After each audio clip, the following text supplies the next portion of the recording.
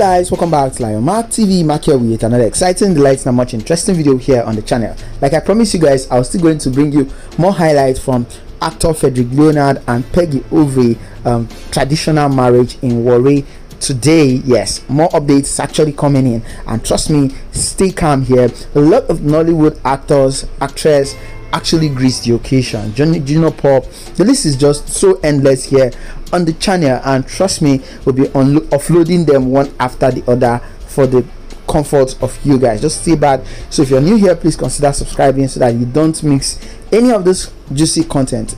We all know that Frederick Leonard is actually a very nice and a wonderful actor in the Nollywood space. His talent is unique, and that's why they call him the Lord of Nollywood because he does an amazing job to any role at all you give to him. Today, tie the knot with his beloved um, wife um, Peggy Ovire, which act- actually another Nollywood actress in the industry. This is the highlight. Don't forget to subscribe if you're new here.